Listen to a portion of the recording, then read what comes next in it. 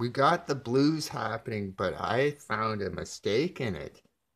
This is pre-punk. This is pre-sniffing glue. This is pre uh, uh where the guitars go off.